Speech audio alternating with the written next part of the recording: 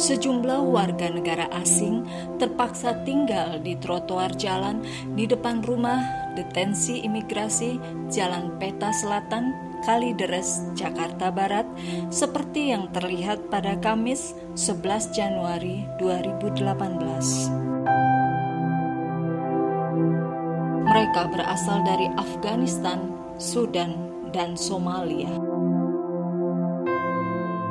terdapat 57 warga negara asing yang terpaksa tinggal di trotoar. 13 di antaranya masih di bawah umur.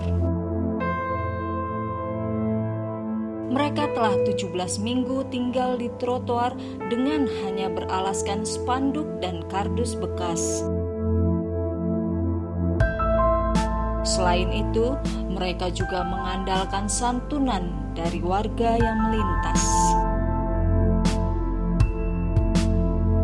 Para imigran itu tinggal di trotoar karena ruangan di rumah detensi imigrasi telah penuh, tak mampu lagi menampung imigran.